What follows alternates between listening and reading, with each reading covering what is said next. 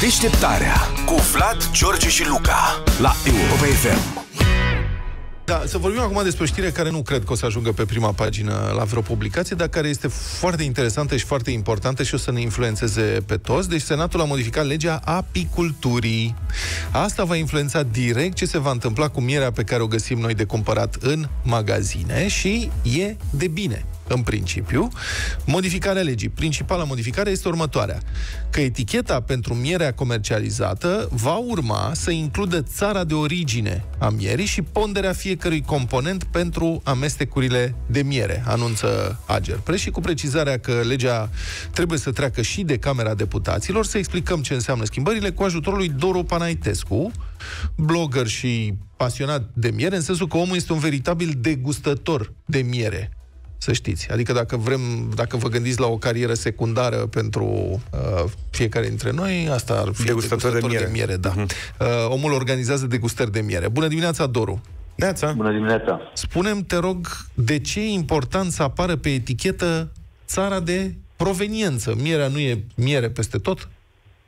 Uh, teoretic, mierea este miere peste tot. Practic, uh, dacă ne gândim la exporturile pe care le fac uh, principalele țări care produc miere, mă refer la China, Turcia, Argentina, Iran, vorbim de primele două exportatoare care sunt și pe lista de import de la noi, este vorba de China și de Turcia, ori aceste țări nu respectă toate normativele europene în vigoare referitoare la analiza și uh, etichetarea mierii și atunci uh, există riscul ca noi, în loc să luăm o miere bună, de calitate, să luăm o miere fie contrafăcută, fie o miere de proastă calitate, ca urmare a faptului că albinele pot fi hrănite cu diverse substanțe, în loc să-și extragă mierea din nectar, să o extragă din substanțe dulci pe care le oferă producătorii în apropierea stupurilor. Mhm. Dar standardele europene, în privința asta, la ce se referă? La pesticide, uh, la ce anume?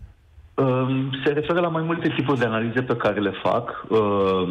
Aceste analize determină, de exemplu, hidroximetilfurfuralul, care este o toxină, care este în miereș și care trebuie să aibă un anumit nivel uh, uh maxim.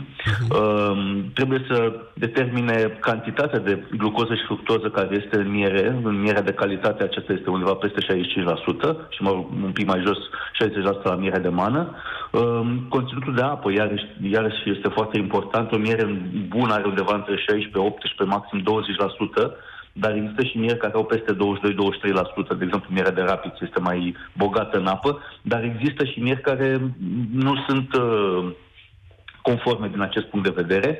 Uh, mai sunt și alte analize, indice diastazic, uh, indice polenic. Iar standardele, uh, deci standardele acestea de calitate europene înțeleg că sunt cele mai stricte. Și în cazul ăsta uh, trebuie să luăm miere produsă în Uniunea Europeană sunt stricte și, în general, europene sunt destul de stricți cu, uh, cu calitatea uh, sortimentelor de miere și acum, să fim serioși, uh, o miere pe care noi o aducem din, uh, de la mare depărtare, în primul rând, este o pacoste pentru mediu, în sensul că poluăm ca să o aducem. E vorba de acel concept eat local. Auziți? Uh, dacă noi luăm o miere din... Uh, Doru, stai care, Luca, are da, o da, da. pentru tine.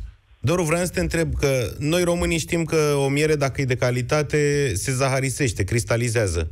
E valabil Sigur. și în cazul ăstora venite din China? Uh, cu, cu excepția mierii de salcâm și a mierilor de mană, uh, mierea de calitate în general cristalizează mai devreme sau mai târziu. Uh-huh. Dar uh, uh, există și mieri care nu, nu cristalizează niciodată. De exemplu, mierea de pin, care este o miere de mană de pin, uh, mierea de condimente, am o miere de condimente din Zanzibar, de exemplu, care nu cristalizează, n-a cristalizat în 5 ani de când o am. Spun că omul este deci, pasionat. Bun, stai nu... să mai lămurim ceva din această prevedere legală. Deci când vine vorba de ponderea fiecărui component în amestecurile de miere, la ce înseamnă asta, ponderea fiecărui se component? Referă, se referă la sortimentul de miere care este amestecat. Mm. Vezi, dacă tu cumperi, de exemplu, o miere polifloră de la un producător local mic, acolo nu este o problemă, pentru că omul nu stă să amestece mierea, dar mari procesatori de regulă iau miere monoflorală, miere de tei, să zic, și o amestecă cu miere din China. Și atunci îi spun miere monofloră de tei pentru că are cel puțin 20 sau 30% cât este Dar în rest poți să pună orice. Uh, de obicei pun miere, dar știi cum e, mai sunt și care o mai botează. De exemplu, din, din Turcia vine foarte multă miere contrafăcută, care este un sirop de glucoză și care este imediat la analize.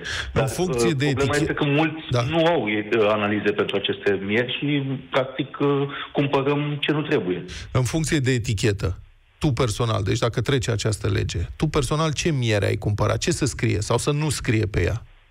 Uh, sigur că aș cumpăra miere din România, dar, de exemplu, dacă vreau să-mi cumpăr o miere de specialitate, o miere de eucalipt sau o miere de cimbru, nu o voi găsi în România, pentru că nu avem eucalipt în România. Mhm. Dar uh, hai să ținem cont de ponderea de majorității uh, sortimentelor de miere. La noi, în România, cam 50% este mierea polifloră, urmată de mierea de salcâm și cea de tei. Deci astea trei sunt cam cele mai mari sau cele mai importante uh, varietăți de miere pe care le vom găsi în comerț și pe care le consumă și oamenii, evident. Doru Panaitescu, care e cea mai rară miere pe care ai degustat-o vreodată? Uh, e foarte greu să spun. Am, am, am degustat peste 150 de feluri de miere din cele aproape 3500 care sunt în lume. Am degustat și miere de manuka, și miere de Leatherwood din Australia, miere de, de, de piper negru din Zanzibar. Tot felul. greu Ce să spun. Cele mai greu de găsit sunt mierile uh, sălbatice. Am câteva mieri din Thailanda, dar am înțeles că și în Cluj există cineva care culege miere de la faguri uh, sălbatice. Mulțumesc este... foarte mult, Doru Panaitescu, pentru amănunte. Deci miere de piper negru. Să ne înscriem la degustare. Deșteptarea cu Vlad, George și Luca la Europa FM.